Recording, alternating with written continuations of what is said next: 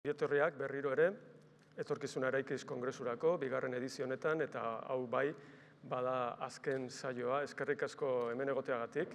Eta atzo e, proposatu zuten bezala, ba, libre sentitu ba, altzatzeko, e, nekatuta gaude, eta e, zerbait galdetu nahi baduzu, une oro, e, justu aprobetsatuz ba, hemen gaudela e, ba, familian eta ja, bueno, ez da batzuk e, atzean ditugularik, ba, probestu dezagun e, aukera honetaz.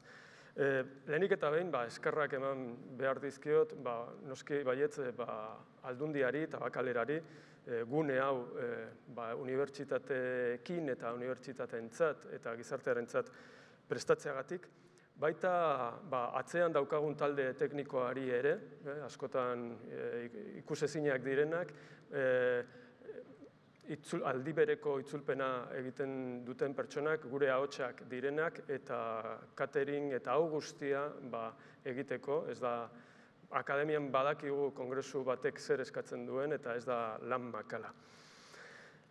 E, baita Carlos Mataixi ere, e, bi urte, azken bi urtetan ba, Agustin Erkizia e, taldea utzi eta gero, baina bueno, inoiz ez dut guzti utzi, ba, eman ditut ikerketan e, bi urte hauek eta asko irakurri dut, eta esan behar dizuet, e, oraindik ez dut topatu ba, gai hauetan hain zehatz eta hain ongi azaltzen, azaltzen duen pertsona. E, eskerrik asko, Carlos, benetan privilegio bat da zurekin e, hau guztia e, pentsatzea. Eta, bueno, baina, bueno, hau ez da amaitu, eta hemen daukagun, bueno, badago galdera bat, ez dakit e, ikusiko dugun, bai, e, guk ere proposatzen dizuegun galdera, hause da, e, nola irudikatzen dugu lankidetzazko gobernantza zazpi urte barru, eh, hogeita, hogeita marrean. Eh. Duela gutxi, beste batek egin duen galdera iaia berdina, eh, unibertsitateak nola irudikatzen ditugun, orain zuen txanda da. Nola irudikatzen dugu etorkizuna eraikiz zazpi urte barru. Zazpi urte bete dira, baina oraindik ere gauza asko eta bide luzea dago aurrean. Beraz, eh, mm, aplikazioaren bitartez edo esku altxatuz, e, lasai asko ekin diezaiogun galdera honi, ze hause da, benetan, ba, bueno, saio honen funtsa, ez da, enpresa hitz egin dugu, komunitatea hitz egin dugu, baina EH hori e, dagokion galdera ez da makala eta justu da, ba, bueno, eta orain zer, eh? etorkizunari begira, e, zein da urrengo urratsa. Entzun diogu, Carlosi, e, misioi edo eginkizunei buruz hitz egiten, baina nolabait misiotik biziora pasa behar dugu. Eta Carlosen ekarpena izan da, ba, bueno, globala, e, estatu mailakoa, nazioartekoa, baina orain gure, gure lana, eta oso pozik nago, ba, bueno, orain aurkeztuko ditudan pertsonak hemen daudelako, ba, gure lana ez da makala. E, hau Gipuzkoara eraman behar dugu. Hmm? Gipuzkoara, e, Zumaiako flixetik e, arantzazuko e, basoetara, ez da? Ah, hoxe. Bai, hau da, e, urbiara doan e, bidezka, egun santia baino lehenago, eta han, bueno, bide asko, ostopo asko, ez dago jakiterik nundik, nundik jo, nora jo, ez da? Eta, bueno, etorkizuna eraiki zen, badaukagu ja ibilbide bat, eta badirudi eginkizunak, misioak, eh? hogeita, hogeita marreko misioak, ikuspegi partekatu bat behar du eh, Gipuzkoan. Eh? Bestela, eh, ba, alderrai ibiliko gara, ez da? Bueno, hori badakigu eta horregatik eh, eh, gaude hemen. Eh, gainera, eh, betidanik eh, dakigun gauza da, ez da? haize honik ez dagoela nora joan ez dakiten arentzat. Behar dugu eh, helburu komun eta partekatu bat. Eh? Justu orain argitaratu den etorkizuna eraiki zen liburu hori, eh, zarreran daukaguna, azala, azalean daukazu eh, idatzita hori, helburu komun eta partekatu baten bila. Eta hori nahi dugu bilatu, ba, herritarren, unibertsitateen eta eh, tokian tokiko eh, erakundekin batera. Bueno, nik marko txiki bat eh, jarriko dut eta gero ba, e, nire lankideekin ba, eseriko gara honetaz hitz egiteko. Ze nahi duguna da, e, Carlosek aipatu dituen erronkak eta arazoak lurreratu eta gipuzkoarara e, eramatea. Eta gipuzkoarara eramatea unibertsitatearen e, bitartez. Ze, bostok gara unibertsitatekideak zuek bezala. Bueno, ba, E, hemen aipatua izan da gizarte itun berri baten beharra, ezta? Hortaz hitzein hitzein izan dugu. E, baina bueno, berri txarrak e, ditut. E, ikus, e, gizarte kontratu bat, kontratu sozial berri bat ez da fabrika batean ekoizten, ez da laborategi batean ekoizten, e, komunikazio bulego batek ezin du egin, e, oso gauza delikatua da e, ehuntzen, ezta? Demosko, eh, ezin diogu demoskopiako enpresa bati, naiz eta ikerketa eh, beharrezkoa izan, ba, zein da mm, momentu honetan Gipuzkoan partekatzen den ikuspegia eh, ba, lankidetzasko gobernantzari buruz adibidez, ezta? Nik, bueno, ez dakit inkrementala den hau edo esponentziala, baina nik uste dut behar dit, hasi behar dugula txikitik, eta hasi mikrogizarte e, itunen bila, ezta? Mikrogizarte itun anitzek eman dezakete ba, Gipuzkoa mailako gizarte itun handi bat. Eta horretarako gaude, eta etorkizuna eraikiz horixe da, e, finean, ezta? Etorkizuneko gobernantza ehuntzeko ba, estrategia bat, baliabide anitz, eta bueno, hemen partekatu izan dugun guztia. Bide horretan, ba, e, bueno, nola planteatzen dugu, eta bueno, hemen gaur goizean Mondragonen e, lankideekin, ba, hainbat proiek, ikerketa proiektu ikasi izan ditugu, ikusi izan ditugu, labur-labur e, EH-un ba, garatzen ari garen ikerketa proiektu baten berri eman nahi dizuet, e, etorkizuna eraiki zen barnean dagoena, eta, bueno, e, G hogei hogeita mairu, ez gara oso originalak horretan izan, Eta hemen egin nahi duguna da oso simplea azken finean. Ikuspegi partekatua ezin bada ekoiztu, e, zer egin dezakegun? Ba, agian ikuspegi, ikuspegiak partekatzea joaten. Osea, ikuspegi partekatua, ikuspegiak partekatuz egiten da. Eh? Hain simple eta hain, hain, hain zaila den zerbait. Orduan, e, hau e, ikerketa ekintza proiektu honetan joango gara egiten tokian tokiko prozesu parte hartzaile batzuk, e, e, hainbat ikertalde osatu dugun kontzortzio baten bitartez, eta ideia da justu, ba, Carlosek azaldu duen moduan, garapen iraunkerreko helburuak betetzea, betetzen joatea, baina hori egiteko ezinbestekoak e, zaizkigun aliantzak egitea. Aliantzak unibertsitateen artean, erakunden artean eta askotan zailena dana, herritarren artean. Eta hau edatzea, lurralde mailan, ezta? E, denbora gutxi daukagu, e, urgentziazko lana da, sorionez aldundia e, lidergoa erakutsi du, aldundiak e, eta e, jarri gaitu lanean hau egiteko, e, baina, baina behar dugu gauzak azeleratu eta, eta hori da e, gure asmoa, ezta? Ba, lankidetza publiko komunitarioak azeleratzeko, espazio bat, espazio eroso bat, eh, hemen eh, esan den moduan, eraikitzea. Horretarako, ba, bueno, eh, gure formula, ez da Coca-Colaren formula, baina eh, hemen, bueno, eh, Xavier Barandiaranek ala esan da, ba, iru, e, iru hanka ditu mai honek, eta bata da, noski, ba, gizarte agenteak, aldundia, udalak, eta bar, bigarrena dira herritarrak, Eta hirugarrena, ba, bueno, gu gara, ezta? E, unibertsitateko e, kideak eta eta agenteak.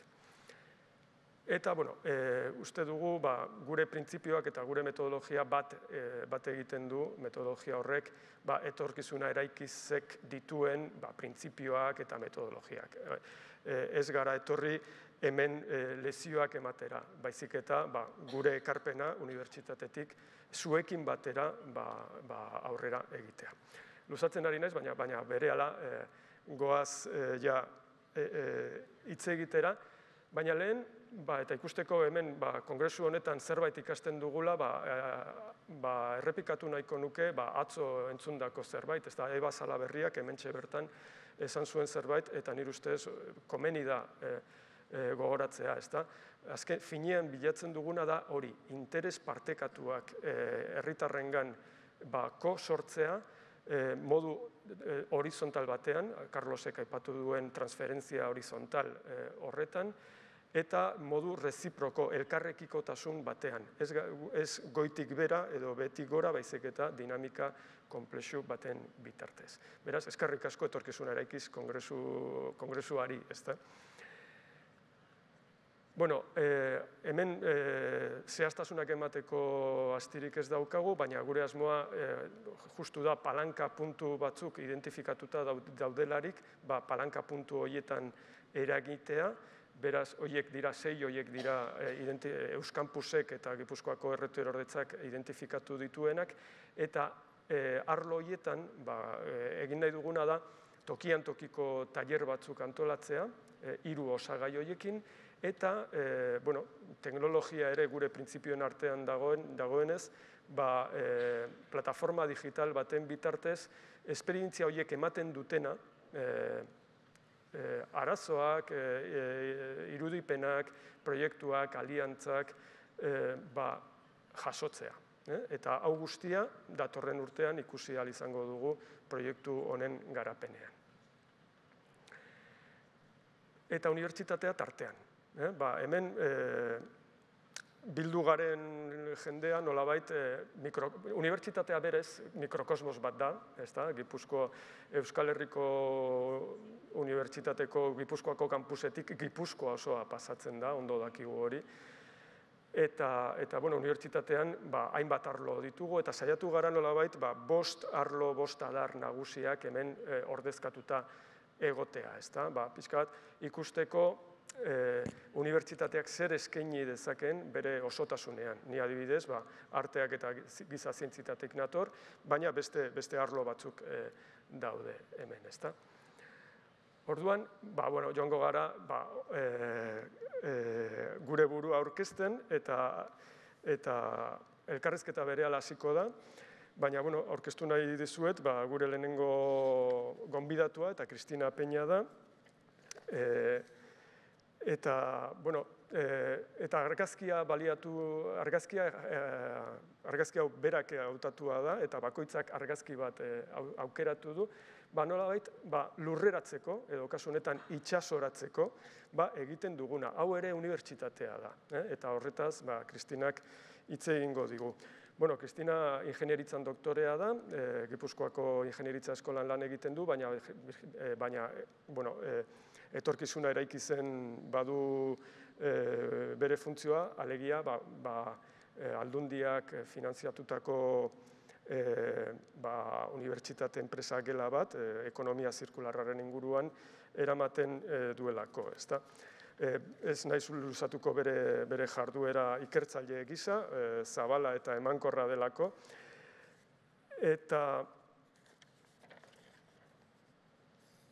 nire paperekin Eta noski badu zer ikusia ba, hainbat erronka ba, ekologian eta biziklatze e, eremuan ba, ba, ditugunan. Eta han esango nuke bere, bere etorkizuna eraikizekiko e, eskarmentu eta esperientzia hortik e, e, dator. Bigarrena, dugu Lidia Kaino, Lidia Kaino e, biologian doktorea da, eta lan egiten du e, eskuntza e, filosofia eta antropologia fakultatean, hemen ere, ibaetan, eta berak aukeratu du e, irudi hau, berak esango digu zer den eta zergatik, baina bueno, bere arloa batez ere, ba, nik aipatuko nituzke bi gauza, ez da, ba, zientziaren alfabetazioa, e, kultura zientifikoa oso importantea da, e, ditugun erronken aurrean, e, hori pandemian ere ikusi izan dugu, ez da, eta bestalde, ba, e, ekologian ba, gure, bueno, gure etorkizuneko gure maisu, irakasleek eta ba, zer, zer ikasten duten, ezta? Beraz, ezitzaileen eh, hezkuntza da eh, Lidiaren eh, arloa. izango naiz kreatibo pixka bat zuen aurkezpenetan, ze informazio guzti hau noski ba, ba, ba Wikipedian dago eta gure kurrikulumetan, ezta? Et, irugarrenez, ba, Joana Goizueta dugu, e, zuzenbidean doktorea, eta gradu ondoko formakuntzan bere ibilbidea izugarria da, benetan, e, esan dut, e, baina, baina hemen ditugun lau emakume ikerlari apartak dira, liderrak dira bere horretan, bakoitzak berean, eta Juanaren kasuan, ba, e, Ero, Europako, Europa mailan, globalizazio mailan, e, beran momentu honetan Euskal Herriko Unibertsitateko sare, nazioarteko sarea e, zuzentzen du, baina bestalde, eta nik alaik, ala, ala ezagutu nuen, ba, bueno, e, zuzenbide fakultateko dekano hoia da, e, fakultate handi bat, eta, eta solerako fakultate bat e, gurean, eta bestalde, baina e, nolabait aktivista ere bada, eta, eta justizia sozialerako mm, ba, klinikan, ko zuzendaria eta ko sortzailea bezala eh, ezagutzen dugu. Eh, honen, honen interpretazioa berak emango digu. Eh? Eta laugarrenez, eta honetekin ja, bueno, e, e, ba, Ana Isabel Bergara, eta bere irudia, Anabelek ere e, azalduko digu, Anabel izan da e, filosofia, psikologia parkatu, e, fakultateko dekanoa, e, Espainia mailan e, dekanoen, psikologiako dekanoen konferentziako e, presidentea, okerez banago, eta bere ikerketa jarduna, jarduera, ba, ba, bueno, emozioen, e, inter, interbentzioan, esku hartzean, komunitarioan, e, e, Servizio de Psikologia aplikada deritzon horretan e, Eh, parte importantea jokatu zuen, eta hau da, amar milako pertsonai zerbitzua ematen dien psikologia zerbitzu bat, beraz ez da edozen gauza, komplexua berez, eta, eta azken bola honetan, suizidioaren inguruan ba, hainbat e, esku hartze eta ikerketa e, ba, ba, bueno, parte hartu du, ba, kampuseko beste agenteekin batera. Beraz, eh, honekin ba, aurkezpenak eginak daude, ni eseriko naiz horretan, eh, nire izen Antonio Casadarrotxa da, eta, eta kampuseko erakuntza zuzendaria izan naiz, lau urtetan, eta gaurko, gaurko zeregina, ba, hiru galdera hauek eh, erantzutea izango da. Eh? Joango gara txandaka, eh, lehenengo galderak nolabait, ba, bueno, Carlosek esandakoarekin zer ikusia du, bigarrena Mm, guri, gure izango da ariketa bat ba, guri begira zer ikasi dugun, ba, e, eraldaketaz, e, trabaz eta, eta aukeraz e, e, kampusean, eta hirugarrenean orduan bai ba, mm, galdera potoloena e, ba, saiatuko gara ba, komentatzen, erantzuten, eta bar. Beraz, e, uste dut ordu bete daukagula, gutxi gora bera, e, konfidantza dut e, Aimar Inzausti zuzendariaren gan, eh, zuk pasatzen bagara, dena den hemen daukagu erlojua, eta eta honekin, ba, itzaia emango, emango diot panelari, eta hasi nahiko nuke nolabait ba, misioak, ezta? oso polita, oso inspiragarria, baina hau gipuzkoan nola ikusten dugun, ezta? batez ere, e, ikusi dugulako, me paso al castellano, eh, todas las dificultades que surgen en el, despliegue de misiones eh, necesarias como las que Carlos nos ha planteado. Eh, si esto, una de las conclusiones de Carlos ha sido que las misiones, que son el producto de una evolución ya larga, nos dan licencia para hacer cosas de manera diferente. Pero bueno, vosotras que tenéis experiencia en gestión, en investigación, en docencia, cuáles son las dificultades o que, veis, porque hoy yo creo que merece la pena que también nos detengamos en las dificultades, un poco como ha dicho también Carlos. ¿no? A mí eh, el enfoque de Carlos me, fascinó eh, en un texto sobre los ODS y las universidades, que he recomendado mucho y Fernando Tapia creo que lo ha utilizado también, cuando él eh, mencionaba la importancia del tejido intermedio. ¿no? Tenemos iniciativas de, abajo, de arriba abajo y de abajo arriba, porque nuestros estudiantes también se mueven. Pero, pero esas iniciativas a menudo se bloquean y por eso es ese medio, ese medio eh, complicado eh, en el que, el que puede ser clave. ¿no? Entonces, en ese medio estamos nosotras, pero, pero, cuando tienes una función, digamos, como ser decana de un centro, Anabel, y miras todo eso desde decanato, eh, ¿dónde están las trabas y, y, cómo las desactivamos si es que tenemos experiencia de eso? En primer lugar, pues eh, buenas tardes. Muchísimas gracias a todos los que, permitidme que os tutee, eh, a todos los que habéis asistido a a esta sesión. Gracias a los organizadores por, por, haberme invitado a compartir esta mesa redonda con, con mis compañeras. Eh, y nada, a ver si nos ayudáis a dar respuesta a este, a este enorme reto, misión y de todo que nos habéis puesto, porque la pregunta es muy, muy complicada. Pero bueno, yo más que dar respuestas, que no las tengo, desde luego, sí que quiero bueno, pues hacer una pequeña, una breve reflexión pues de, la, de la charla de Carlos, realmente motivadora y, y, vamos, que ha suscitado en mí pues, muchísima reflexión, muchísimas cuestiones que me, que me he planteado. Las notas que he tomado, bueno, totalmente de acuerdo con esa necesidad de construir una visión compartida entre comunidad universitaria, entre los agentes del territorio. Es necesario consensuar qué misiones vamos a llevar a cabo, nada menos. La visión, la visión, la visión parece que está clara, los ODS hay que, hay que conseguirlos, si conseguimos eh, aceptar entre todos eso no es poco, ir hilando esas, esas misiones y ir creando retos unificados. Me encanta también lo del segundo sistema operativo, no lo consigo operacionalizar del todo en mi ámbito universitario, pero me parece que, que hay amagos, ¿no? que todos hacemos amagos a ese respecto. Sin duda, eso implica un cambio de paradigma, un cambio de paradigma que requiere innovación organizativa, cambios en el liderazgo, en la estructura, en la cultura organizacional. Es, es, es realmente eh, revolucionario. Y a ese respecto, me vais a permitir, bueno, yo recuerdo las enseñanzas del profesor Sabino Ayestarán, no sé si alguien le conoció, un, un sabio, un maestro en, en, en, estos temas y además un adelantado a su época. Hace ya muchísimos años, cuando yo era, cuando yo era decana, como ha dicho Antonio, y venía, fue profesor, fue compañero y fue amigo. Y de vez en cuando me visitaba en decanato para, para hablarme de cosas tales, las apunto porque no termino nunca de aprendérmelas del todo, en la que me insistía en que el liderazgo, la creatividad y la motivación son las bases de la innovación y siempre me decía, no olvides las tres cosas. Si quieres conseguir innovar en la facultad, tienes que en, en, en, entrar en esas tres cuestiones, en el liderazgo, en la creatividad y en la motivación.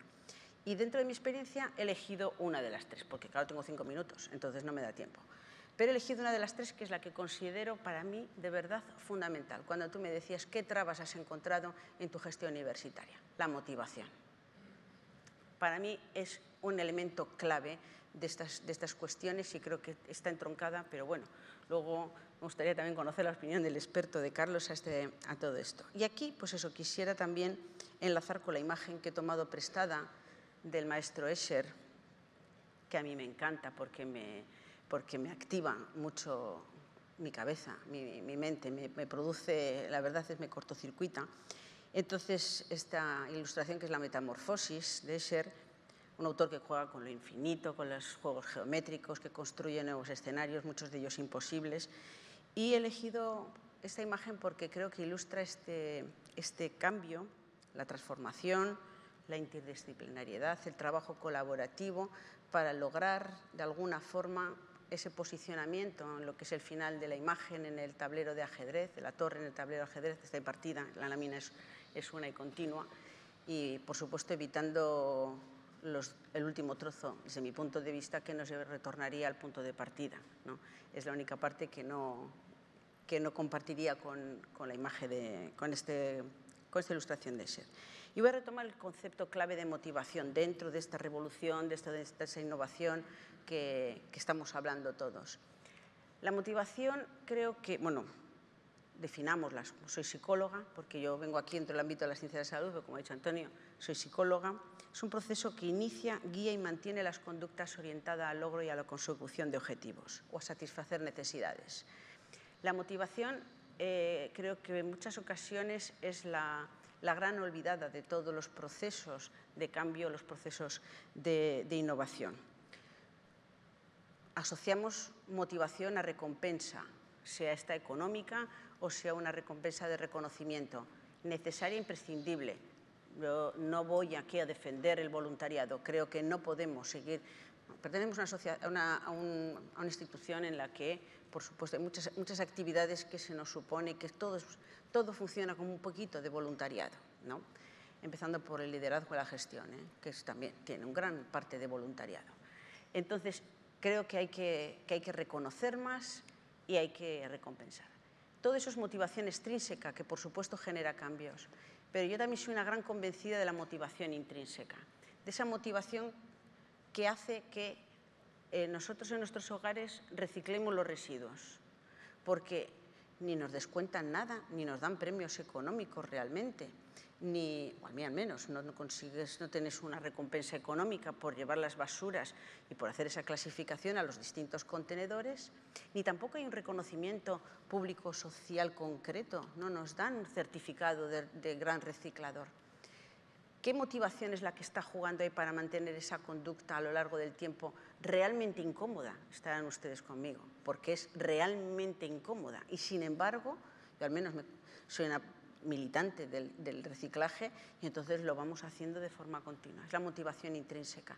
Y esa que es difícil de lograr, la más difícil, es la más permanente en el tiempo y la que mejores resultados da, porque es la que garantiza otro elemento que para mí es fundamental, que es la sostenibilidad. Y, bueno, para terminar con, reflexionando con esta cuestión, que me enrollo con mucha facilidad, me gustaría que reflexionáramos sobre las estrategias institucionales de motivación. Vuelvo al mismo tema. ¿Cómo nos, cómo nos motivan? porque en el ámbito universitario lo que nosotros conocemos eh, como estrategias de, motivación o que pueden hacer que hagamos determinadas acciones, pues tienen que ver con nuestros reconocimientos, las acreditaciones, los exenios, qué es lo que nos valoran en un proyecto del ministerio, qué nos valoran los grupos del gobierno vasco. Esos criterios son los que nos motivan. Tenemos una recompensa económica, como todos los demás, que, es el sueldo por, nuestro, por el desempeño laboral. Pero luego todas estas otras cosas eh, son las que nos motivan y, creo que son, son estrategias que, han, que nos han llevado a un trabajo muy individualista, poco colaborativo y poco interdisciplinar, que han conseguido los grandes retos que se planteó la, la, universidad hace muchos años, que es una, una, ciencia de excelencia y unas publicaciones de calidad. Pero ahora tenemos que cambiar de paradigma y ahora sí ya me callo. Muchísimas gracias. Sí, pero este, este diagnóstico es importante ¿eh? porque en este caso yo creo que la universidad sigue siendo un microcosmos de la sociedad y esa misma, eh, el estar atrapados en, eso, en esa arquitectura de motivación que nos lleva en una dirección que no es colectivamente adecuada, pues es un problema. ¿no? Entonces podríamos pasar igual a, Juana, que, que, al ser especialista en Derecho también nos puede hablar de la, de la otra parte de la motivación extrínseca o la arquitectura institucional, el derecho, que, también es, una parte importante de, cómo eh, actuamos en sociedad. ¿no? Pues nada, es que ricasco. Bueno, yo también dar las gracias por, por, la invitación y ya lo que digo es bueno, pues que en principio no sabía muy bien por qué, cuál era el papel que tenía que asumir aquí y ahora bueno, pues estoy encantada de estar aquí porque lo que he hecho desde luego es aprender muchísimo. Entonces, bueno, ya desde la honestidad académica, desde mi honestidad como persona, ya os digo que yo poco puedo aportar, pero sí que me llevo mucho. Entonces, porque aquí hablamos de, transformación ¿no? al hilo de, y también quería felicitar al, profesor Carlos Matáis porque la verdad es que me ha parecido una, excelente presentación, muy sugerente y de la que, bueno, pues que me he quedado con muchos flashes que me va a llevar a poco a procesar toda esta información, pero como me sentía, yo no solo vengo del ámbito de las, han dicho del ámbito jurídico, el ámbito de las humanidades, sino que además juego con cierta desventaja porque vengo de un ámbito que es muy poco dado a la transformación, ¿no? Y aquí esa eh, idea que ha dado vueltas en, la intervención del profesor Carlos Matáis ha sido mucho la transformación. ¿no? Entonces, como sabéis, el mundo, del, el mundo jurídico, lo jurídico es un mundo muy conservador, donde bueno, pues se hace bastante difícil incluir, insertar ¿no? cambios, y más que sean cambios sistémicos o cambios eh, estructurales, pero bueno, en fin, yo me siento bastante cómoda porque soy un poco una avis rara en, en este mundo. Entonces, yo al hilo de la intervención, que creo que es lo que se pedía ahora en esta primera ronda, me he quedado con tres ideas que quería comentar, lo que es el tema del activismo, que me motiva muchísimo, el tema de entrar en acción o el dinamismo de los ODS y el tema de articular el conocimiento, la transferencia del conocimiento en misiones. Respecto a lo que es el activismo, bueno, creo que es una manera de hacer en la que ya no hay una vuelta atrás y creo que esto tiene mucho que ver también con el modelo gerencial de la universidad y este debate entre activismo y universidad siempre ha estado presente. Y creo que, mm, que hemos cerrado en cierto sentido porque, a mi modo de ver, ¿eh? igual estoy confundida, pero hemos, hemos confundido lo que es el activismo con eh, la subjetividad, pero mal entendida.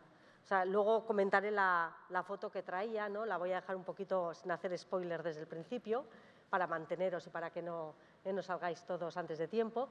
Pero quiero decir que eh, pensamos que el, el, conocimiento en la universidad se tiene que generar desde una neutralidad, cuando realmente no hay nada que sea neutral y ni tan siquiera el derecho es algo neutro. ¿no? Entonces, bueno, yo un poco parto desde esa posición y creo que la subjetividad eh, no va de reñida con el rigor científico. Entonces, por eso yo eh, hace años, eso, bueno, pues cuando entré en el mundo del derecho era una persona vocacional, pero tuve un momento de crisis, digo, bueno, ¿qué hago eh, si no entiendo el derecho como los ODS, si no lo entiendo como un derecho en acción? Entonces, bueno, soy activista y activista en este sentido, como decía Antonio, y activista inconformista, con lo cual lo tengo todo en ese sentido. Y creo que efectivamente solo desde ese activismo ¿eh? y sin perder en, modo alguno el rigor científico, tenemos que posicionarnos como universidad en la sociedad. Y además entiendo que no hay otra forma, que este es el aporte que tenemos que hacer como agente a la sociedad y cuando entramos también a, implementar o a poner en acción esos ODS.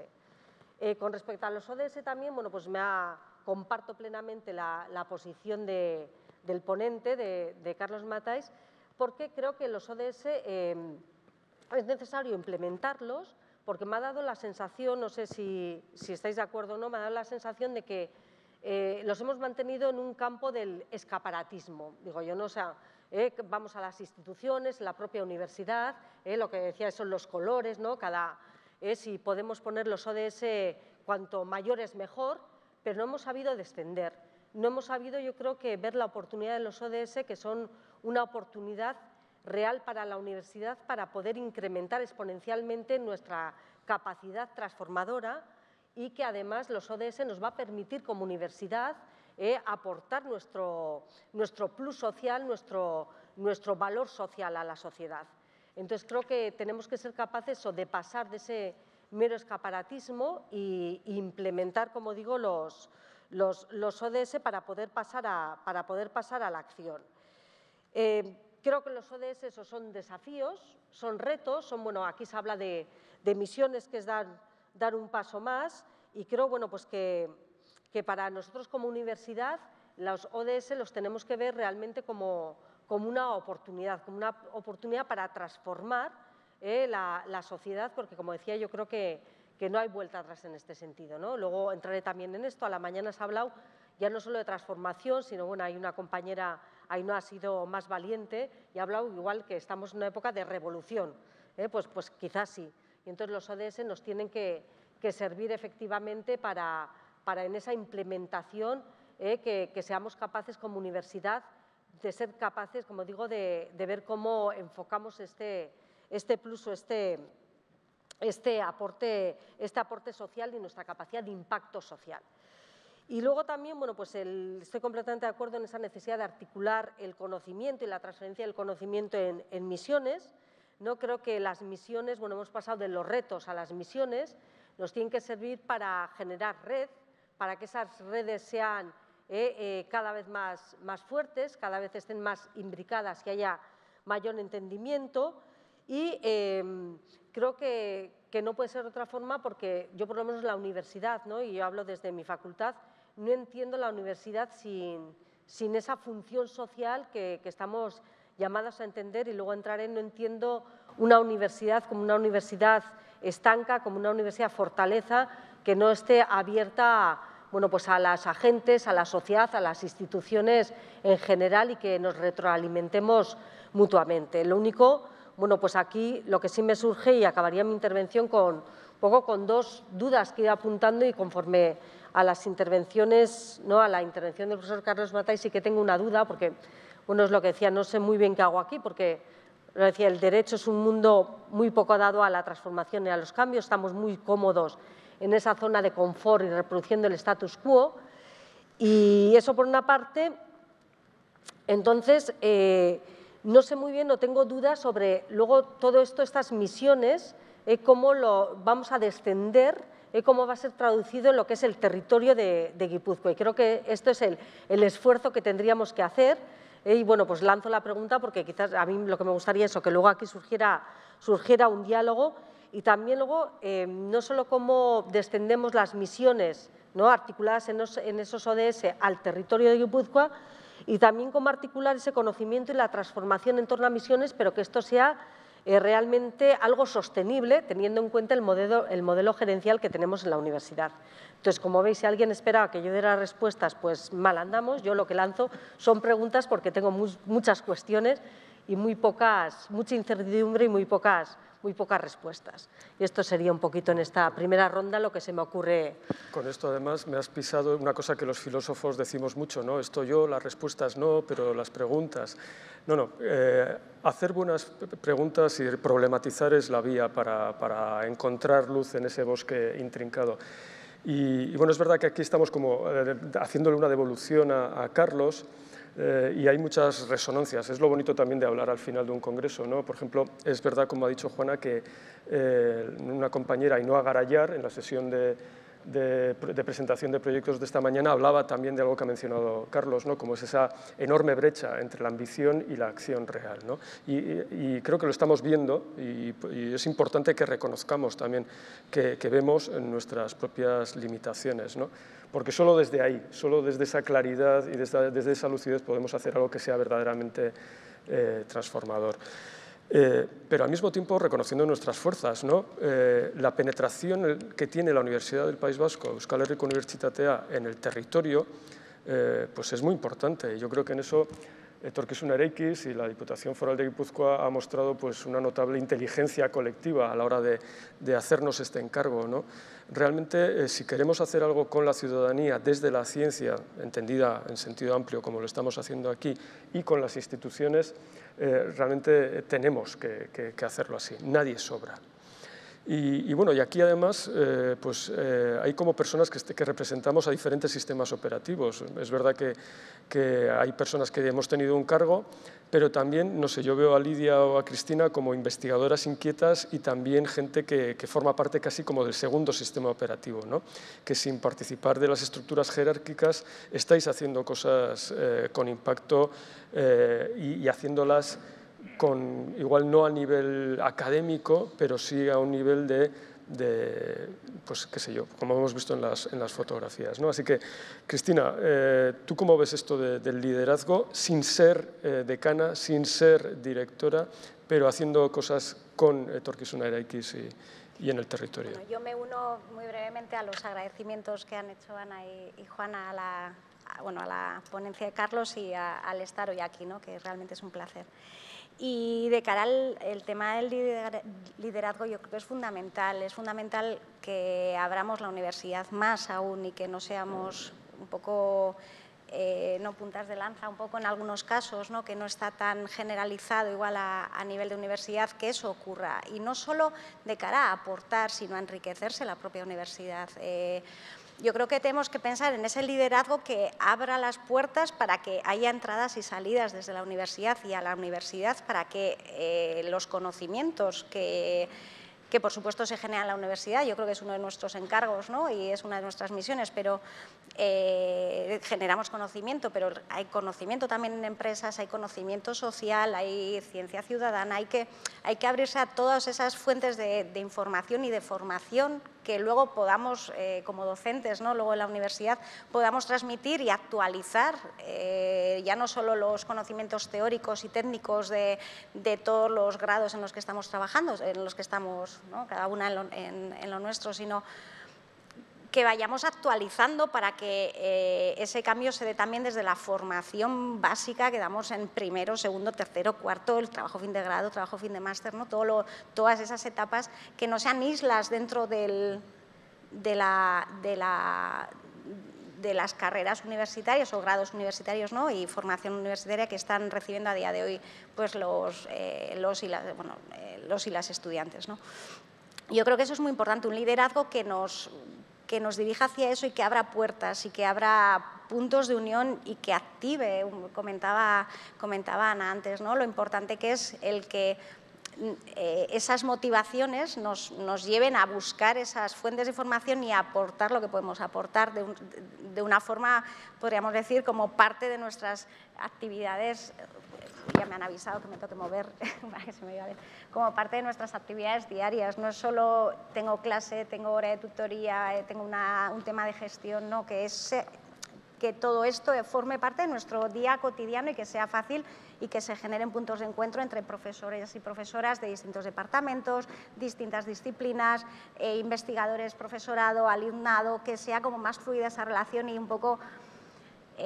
a mí me gustaría, quizá no sea políticamente correcto, pero a mí me gustaría que se rompieran esas barreras del el, profesor, la profesora está aquí arriba y los alumnos son eh, pobres clientes ¿no? que vienen a, aguantar en algunos casos nuestras largas clases o nuestros, o sea, que sea algo que realmente sea por motivación y por, yo creo que ese, sería un punto, un punto, al que le daría mucha importancia. De hecho, en el movimiento climático yo creo que estamos por detrás de muchos de nuestros estudiantes y nos han enseñado algunas cosas eh, y seguramente más que todavía. ¿no? Y eso me permite engarzar con, con, Lidia porque bueno, ella y yo hemos compartido precisamente algunas experiencias en ese sentido.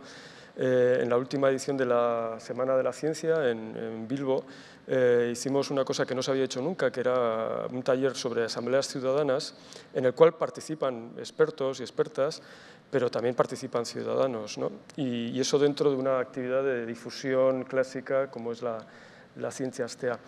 Esto también es un punto de engarce con, con la gobernanza colaborativa y con etorkizuna eraikis, porque precisamente son esas asambleas las que se están empezando a poner en marcha. Eh, de manera, no es fácil montar una asamblea ciudadana como se está haciendo, pero estamos ya con una a nivel de Guipúzcoa que está impulsando y liderando la Diputación Foral y ese es un punto de encuentro natural entre, entre la universidad y la ciudadanía también, porque esas asambleas ciudadanas no son nos juntamos a decidir lo primero que se nos pase por la cabeza, sino que tienen un proceso exigente de información y de liberación. Y ahí la universidad en general y la pública en particular, creo yo que tenemos que estar muy presentes. ¿no?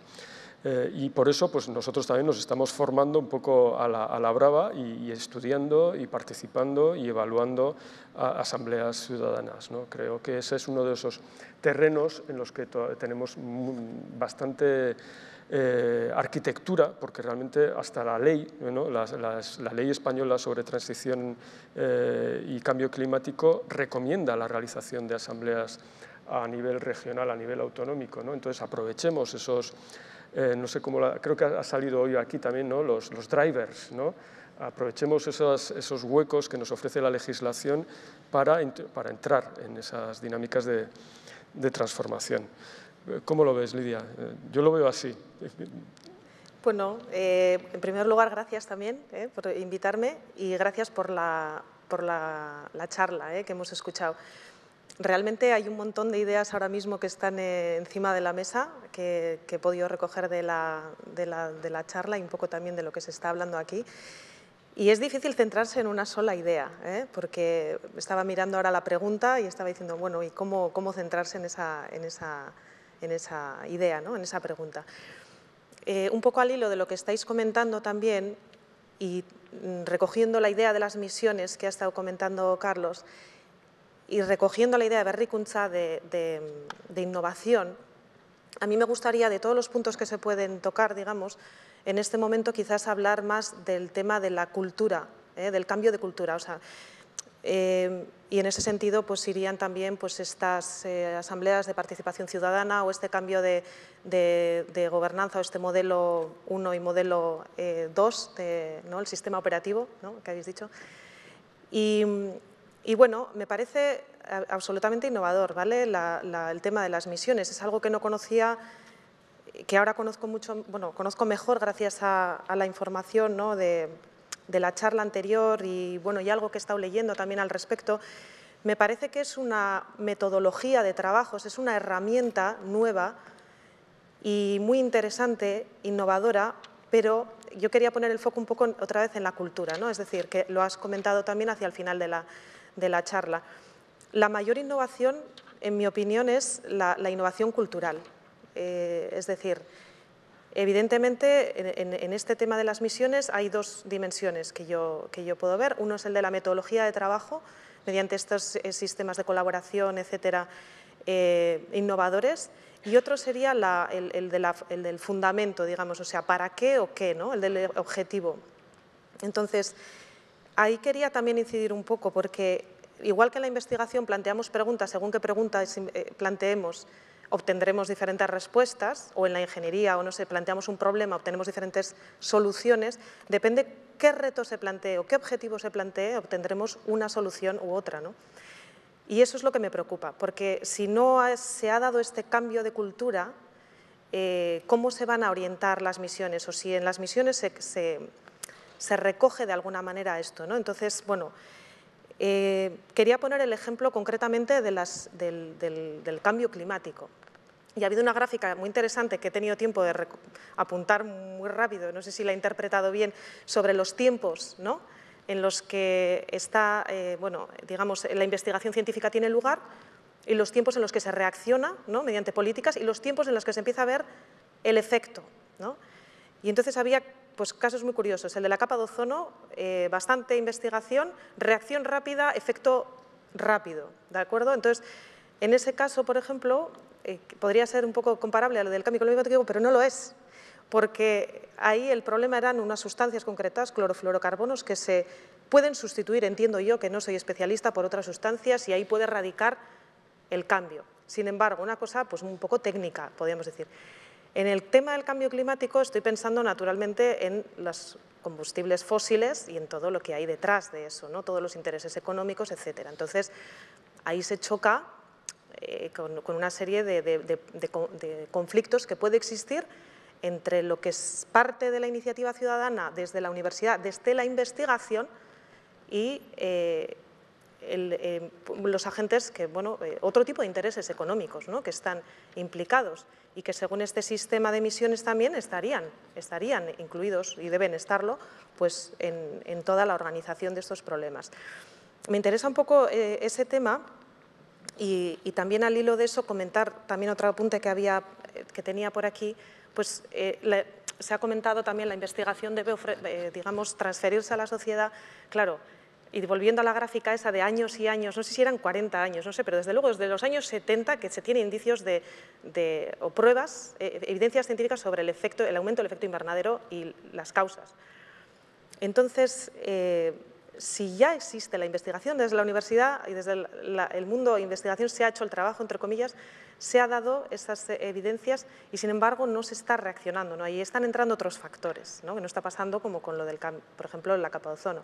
Entonces me interesa mucho eh, si estas metodologías y estas misiones, claro que son una innovación, innovadoras respecto a la metodología, entonces, ¿cómo se aborda ¿no? el, el tema del, reto, del cambio de mentalidad que has también mencionado, ¿no?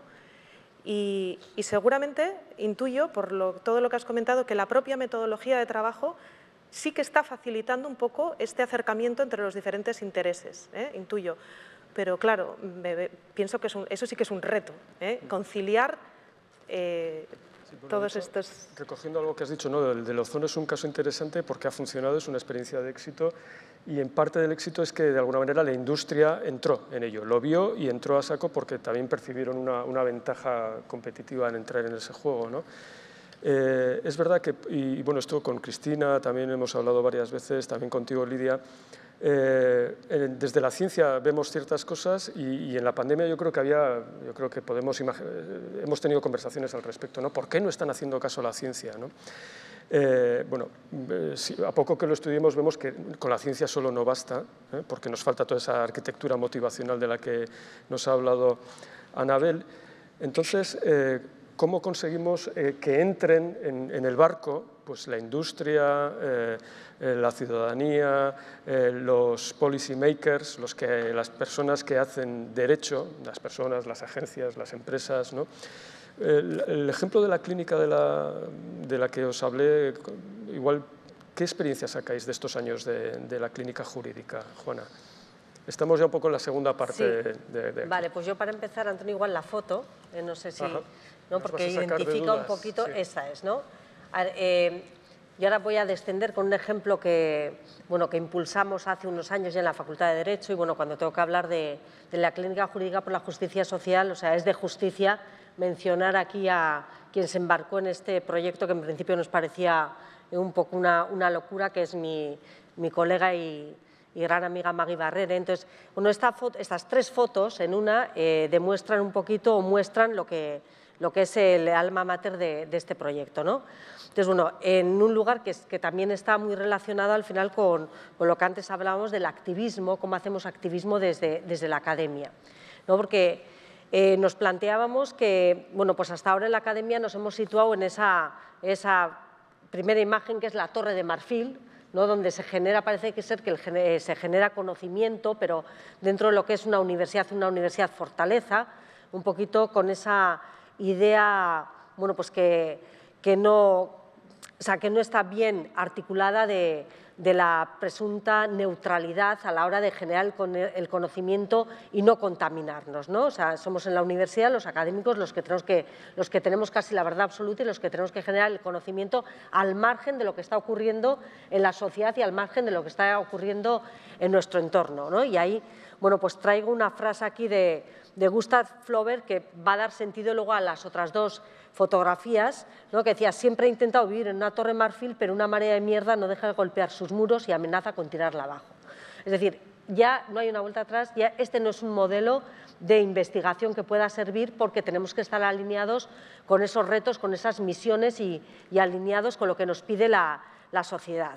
Entonces, lo que planteábamos era, bueno, qué modelo de, investigación tenemos que hacer, qué modelo de investigador, investigadora eh, tenemos que, fomentar, en mi caso, en, bueno, pues desde lo que yo conozco, la Facultad de Derecho. Entonces, como veis, ahí hay otras dos imágenes, una que seguramente muchos de vosotros y vosotras identificaréis, ¿no? porque es una película como muy conocida, Erin Brockovich, ¿no? que o sea, se plantea, ¿no? ella es una abogada, pues vamos a decir así, de causas perdidas y se, bueno, pues, eh, toma una parte activa en lo que es el relato de la víctima y se considera, bueno, se identifica totalmente con ese relato de la víctima. Y luego hay una forma de hacer investigación, ¿no? que es, bueno, eh, bajamos de esa torre de marfil, ¿no? pero vemos la realidad y vemos los retos que nos plantea, las misiones que nos plantea la sociedad, bueno, pues desde un espejo. ¿No? Entonces somos, bueno, pues eh, un tipo de investigación más extractiva, más aséptica, ¿no? queriendo también, bueno, pues de alguna manera distanciada con la realidad. Bueno, nosotros dándole vueltas a eso, voy a extender ahora el proyecto de clínica, pero toda la clínica, el proyecto surge un poquito porque le, bueno, pues le dábamos vueltas este inconformismo, este activismo, ¿no? a la manera de generar investigación en la universidad y cómo conectarnos con, con la sociedad. Dijimos que al final, para nosotros la, investigación tiene que ser, el modelo de investigación tiene que ser intermedio entre, una vez que hemos salido de esa torre de marfil, entre el modelo Erin Brockovich y ese modelo de de visión aséptica y distanciada de, los retos de la sociedad y tenemos que ser capaces desde la academia de, dar respuestas operativas y respuestas prácticas a, los retos de nuestro territorio. Entonces, eh, en esas eh, empezó la andadura en el año 2016, ya llevamos ya seis años, y conformamos una clínica jurídica por la justicia social. Y esta clínica jurídica por la justicia social lo que tiene es bueno, pues dos elementos que, aquí el profesor Carlos Matáis ha traído en su, intervención y que me parece que son muy interesantes porque es la transformación, pero también la visión sistémica o estructural. Porque yo creo que no hay eh, proyecto transformador si no tiene esas dos, esas dos patas. Y la Clínica Jurídica por la Justicia Social es eso lo que pretende ser. O sea, es un proyecto en el que nosotros eh, somos conscientes de que Sabemos que también, bueno, pues no jugamos, o quiere decir que, como decimos, desde el ámbito de, lo humanístico y además, ¿no? cuando hablamos de justicia social, bueno, pues parece que no son cuestiones prioritarias en las agendas políticas, pero somos conscientes de que no vamos a lograr ni una justicia ambiental, ni una justicia energética, ni una justicia económica, si no tenemos una justicia social. Y creo que bueno, pues nuestro territorio, y hay que hacer alarde de esto, ¿no? es un territorio, bueno, yo lo, he visto, lo he oído y, creo que es así, un territorio que apuesta por, por, ser un entorno sin desigualdades sociales y creo que es de donde tenemos o por donde tenemos que, caminar porque cuando consigamos decir, esta, esta, justicia social conseguiremos todo el resto de las justicias y conseguiremos de, realmente transformar la, sociedad teniendo en cuenta esa interconexión de los, de los, e de los ODS que, aquí hemos traído. Entonces, a través de la Clínica Jurídica por la Justicia Social es un proyecto en el que abrimos la, facultad, la universidad a la sociedad y dejamos que la sociedad penetre y que entre en la propia facultad. Es un modelo donde nosotros nos abrimos, es un modelo de, de generación del conocimiento y transferencia del conocimiento totalmente horizontal, a la facultad vienen agentes sociales, vienen ONGs, vienen bufetes de, abogados, vienen desde instituciones, desde partidos políticos con representación parlamentaria y nos presentan casos reales, lo que decimos el derecho en acción, casos reales de eh, situaciones de injusticia social, de situaciones de discriminación por distintas razones, los presentan a la, facultad y en la facultad eh, trabajamos también desde esa horizontalidad, porque trabajamos profesorado, alumnado, incluso personal del servicio de administración y eh, servicios de eh, personas del PAS. Entonces, ahí lo que, lo que tratamos, pero siempre con esa vertiente de que entendemos el derecho como un elemento de transformación social. Y aquí se al derecho, nosotros somos de las que, bueno, pues el derecho lo que tenemos que poner también sobre la mesa y es lo que podemos aportar como, como académicos y el aporte que podemos hacer a nuestra sociedad es que hay que eh, poner, hacer aflorar las, limitaciones que en muchos casos nos plantea el propio derecho. Porque el derecho, bueno, pues eh, lo entendemos como en muchos casos un reproductor del propio status quo. Y lo que hay que hacer a veces es, para transformar la sociedad, bueno, pues hay que cambiar el derecho. Cambiar el derecho quiere decir, hay que, y no hay que tener miedo a esto, plantear eh, modificaciones de políticas públicas.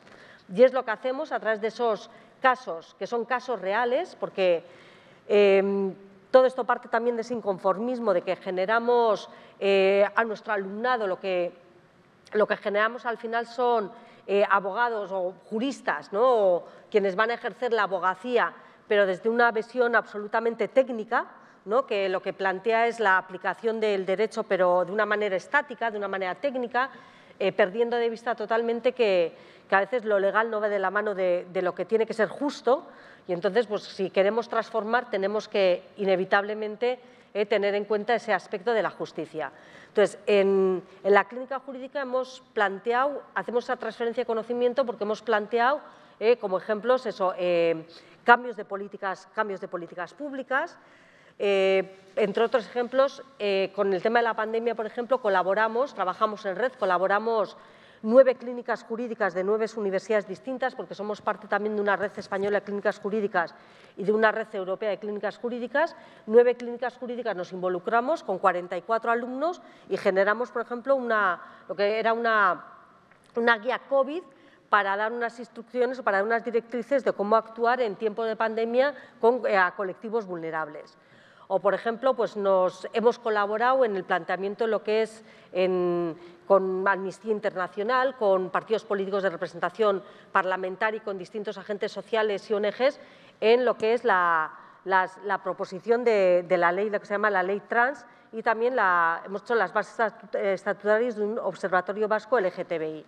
O hemos planteado también bueno, pues un código de buenas prácticas para la aplicación en, en, órganos de alta dirección en el territorio de Guipúzcoa para eh, poder impulsar la presencia de las mujeres y, se han articulado unos indicadores de, eh, para poder testar efectivamente cómo la eficiencia empresarial eh, va, qué impacto va a tener esa presencia, más equilibrada esa presencia de las, mujeres en este ámbito. Entonces, bueno, es un ejemplo de, creo que de transformación o de, de activismo para poder transformar la sociedad, es un ejemplo real de cómo intervenimos desde la comunidad, cómo la universidad se ha abierto a la sociedad y la sociedad ha entrado, pero literalmente porque es un espacio sin, ningún tipo de barrera académica donde todos los agentes sociales, instituciones públicas entran a la, propia universidad y generamos una, comunidad de conocimiento que, siempre desde esta vertiente, porque no entendemos de otra forma estructural y sistémica, podemos ayudar a a ser motor de transformación de la sociedad y creo que,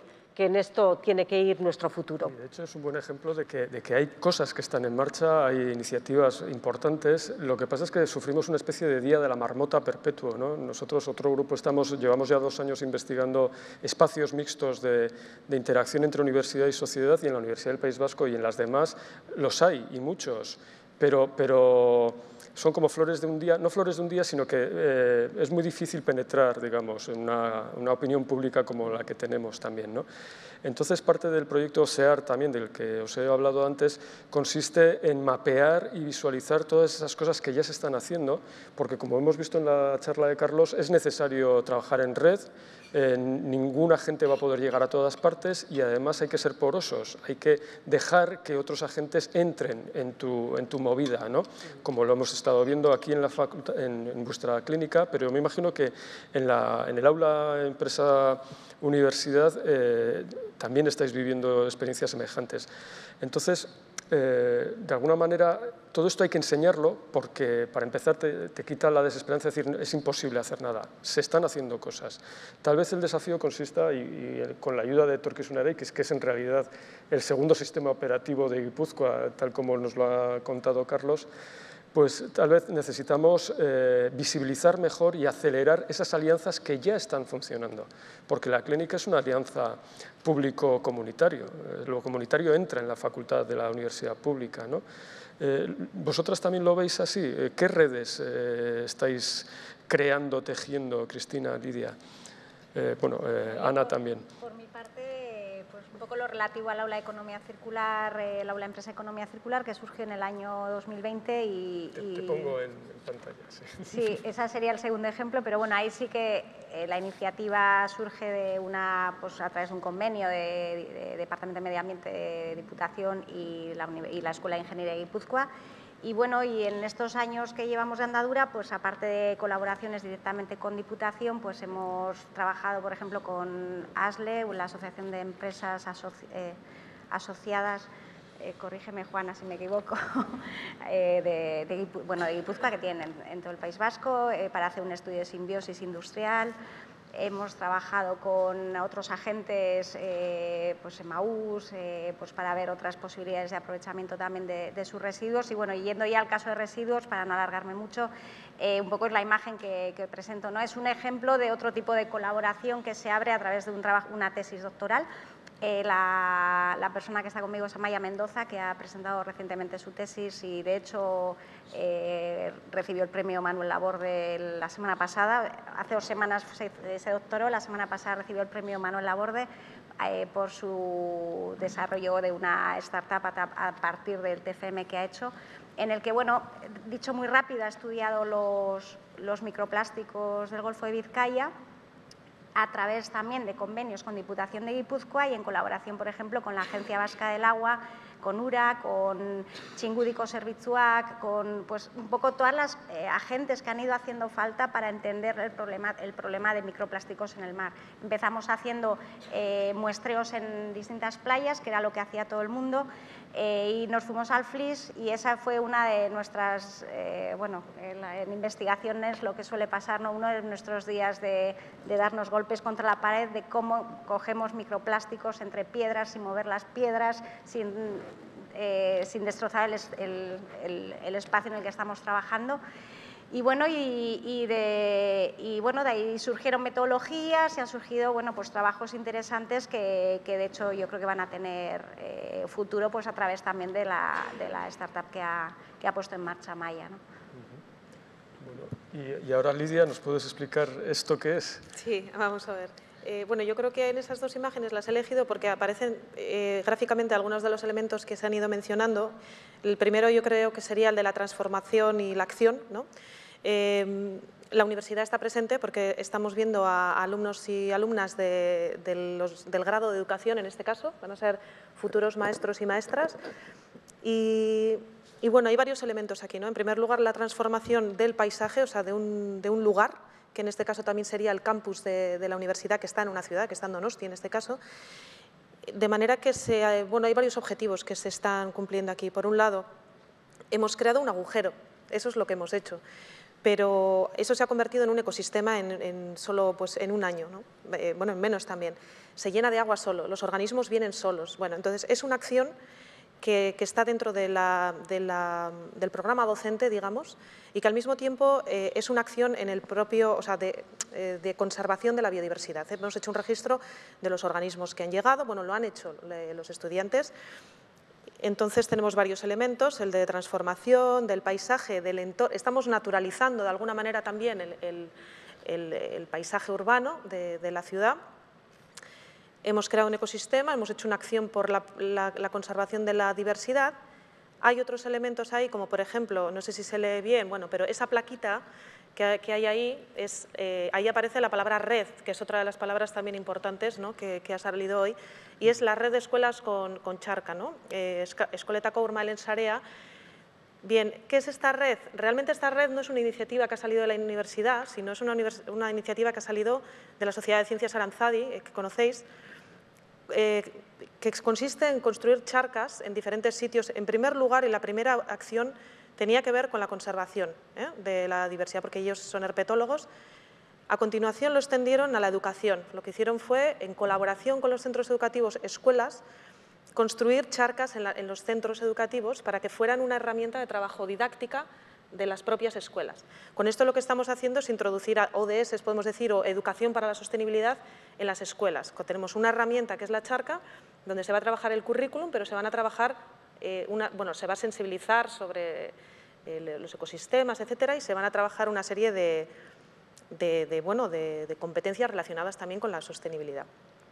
Eh, y que lo que ha pasado es que nosotros hemos entrado en esa red. Entonces, es importante por dos motivos. Por un lado, porque esto nos permite no solo hacer una red de charcas físicas, o sea, que es una red que permite, que está rehabilitando realmente la población de anfibios, o sea que era el primer objetivo, sino que además eh, nos está permitiendo crear redes o eh, conexiones con la escuela. En este caso es la Facultad de Educación que tiene que conectarse con las escuelas y que históricamente no ha estado tan conectada. La educación estaría en la base, digamos, del cambio cultural este que estamos pensando, que está detrás de todo ¿no? y que es, que es necesario. Entonces, bueno, es una herramienta, habría, podría comentar eh, bastantes cosas sobre esto, pero, pero, bueno, eh, lo que quiero sí destacar es que ha sido una iniciativa bastante de abajo arriba en este sentido, ¿vale? No ha sido tan institucional, pero también quiero destacar el papel de la universidad como facilitadora, porque aquí ha habido un proyecto, un programa muy interesante que es el, Laboratorio SICA de I3, que, es un proyecto muy interesante que, que lo que nos obliga, de alguna manera, a los que formamos parte o tenemos un proyecto, a incorporar los ODS en las asignaturas de la carrera, de manera que también estamos hablando de interdisciplinaridad, porque ahora mismo hay un montón de asignaturas de diferentes em, eh, em, campos de conocimiento eh, trabajando sobre, el sobre esta charca, cada uno eh, sobre el tema que, le, tiene que trabajar en su asignatura y en su, en su tema, digamos, es interdisciplinar.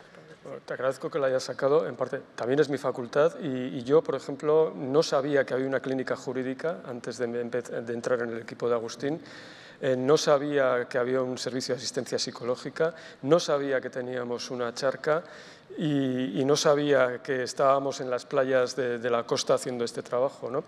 Eh, y, creo que en la, tarea cultural es muy importante precisamente saber que están sucediendo cosas, este trabajo de visibilización, porque eso abre la imaginación. Y precisamente uno de los problemas que tenemos en, en todo trabajo de transformación es eh, activar nuestra propia capacidad, porque si no creemos que podemos cambiar, realmente no hay nada que hacer, apaga y vámonos. ¿no? Entonces ese trabajo motivacional que tiene que ver con cosas sutiles como son la cultura, la motivación personal, el sentido de, por qué me levanto yo todas las mañanas eh, de la cama, eh, tiene mucho que ver con la idea de una visión compartida. Una visión compartida que ya no es algo que se fabrica en un gabinete de comunicación, sino que está ya haciéndose. Lo que pasa es que tenemos que, eh, entre la universidad o la diputación, eh, incorporando a todos estos agentes, aunque seamos compañeros de cama a veces insólitos, visibilizar lo que está haciendo y generando las condiciones para que se pueda hacer más y pensemos que podemos hacer más. Y de esa manera un poco entrar en esas dinámicas virtuosas de aceleración de las que nos hablaba eh, Carlos. Eh, bueno, voy a hacer trampa, teníamos otra pregunta eh, final, pero esa es un poco la que tenemos para casa, ¿no? Nos llevamos los deberes en la tercera pregunta y le pediría a Ana que, que cierre ya una última intervención hablándonos también de, algún ejemplo concreto, ¿no? porque estamos, estamos de alguna manera viendo cosas que ya se están haciendo y que están en esa línea de crear visiones compartidas entre diferentes. Gracias. Bueno, pues retomando este punto de, visión compartida, eh, cuando tenía que reflexionar sobre esto, lo primero que hice fue revisar otra vez el plan estratégico de la facultad, porque es la visión compartida de la facultad. Porque cuando hablamos de visión compartida territorial, ya son palabras mayores que decir que es un objetivo al que tenemos que ir, pero ya compartir una visión en la facultad ya es algo complejo. Y, ahí se recoge claramente desde hace ya varios planes estratégicos, además, esta línea de visión, que es el compromiso social y la innovación, que ha marcado y marca muchas de las líneas de investigación, de transferencia de conocimiento e incluso la docencia dentro de la facultad. Y en las líneas también se destaca el compromiso ético, no voy a contar todo, ¿eh?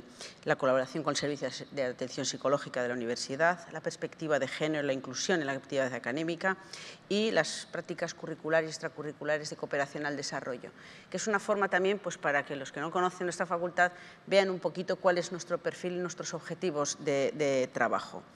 Eh, esos, esos, objetivos eh, están alineados en muchos casos con los ODS, por ejemplo, el tema de la perspectiva de género, es algo que de forma transversal se, implementa en las asignaturas de la, carrera y no en vano eh, estamos alineados también con la, universidad que impulsa el premio Francisca de Aculodi y ya en los últimos años hay cuatro trabajos de fin de grado que han conseguido el premio Francisca de Aculodi que otorga la universidad a la inclusión de la perspectiva de género en los trabajos de fin de grado una forma también de involucrar al alumnado y al trabajo cotidiano con los, con los ODS.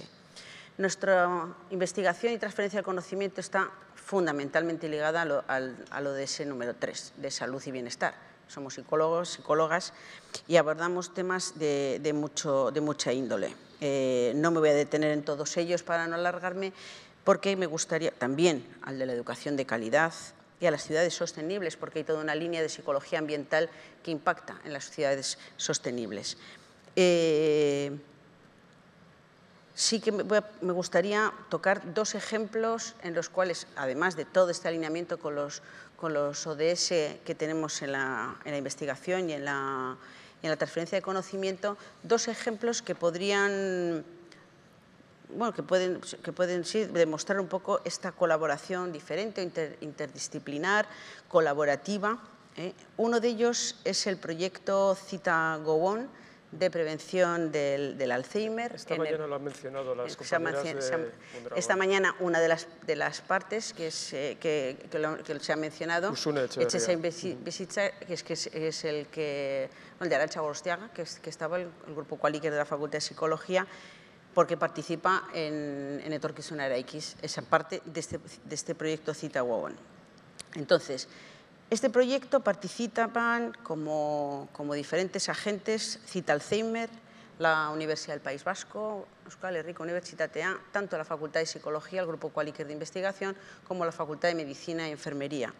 La Universidad Pública de Navarra, el Instituto Vasco de Neurociencias Achúcarro, el Instituto Biodonostia, Camp Tecnológico, es, el objetivo, muy brevemente, es demostrar que una intervención multidominio de control de factores de riesgo, unido a la promoción de hábitos saludables de ejercicio físico, de entrenamiento cognitivo, de dieta y, gastronomía y de salud socioemocional, pueden eh, prevenir la aparición de problemas de deterioro cognitivo y, en definitiva, de prevenir el Alzheimer. Está enmarcado también dentro de, un, proyecto europeo, con lo cual las redes se extienden también a nivel europeo y a nivel mundial.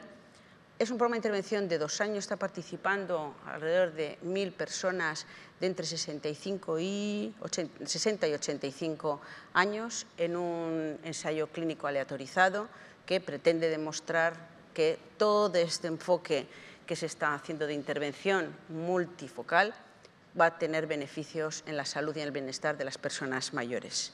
Y tiene pues, financiación diversa. A mí me gusta siempre nombrar la financiación en todos los ámbitos porque es uno de los motores motivacionales del trabajo, si no es imposible llevar a cabo Entonces hay diversa financiación desde el Ministerio, desde los proyectos del Ministerio de Educación, como grupos de investigación del Gobierno vasco, como, como becas predoctorales también del Gobierno vasco y, por supuesto, también la participación de Torquís Araikis, como hemos visto esta mañana. Y otro proyecto que también me parece que está en fase de desarrollo, así como el anterior ya está, muy, ya está bastante implementado, este está en fase de desarrollo, que es el proyecto ESAU de Bacarric. Es un proyecto de prevención del suicidio de jóvenes y adolescentes, un tema espinoso que da, mm, mi, experiencia es que da miedo tocar, da miedo abordar y provoca mucho respeto, incluso entre los profesionales de la psicología. Es un tema que da mucho respeto, que sigue siendo tabú. Un proyecto coordinado por la Facultad de Psicología de la, Universidad del País Vasco junto con Vicira, una asociación de eh, supervivientes de suicidio, de personas que, han sido, que son afectadas por el suicidio de un ser querido. Ya el curso pasado implementamos un proyecto piloto que hemos tenido relación con centros escolares, en colaboración con coordinación con el Departamento de Educación del Gobierno vasco y financiado por ese departamento, una fase piloto de sensibilización.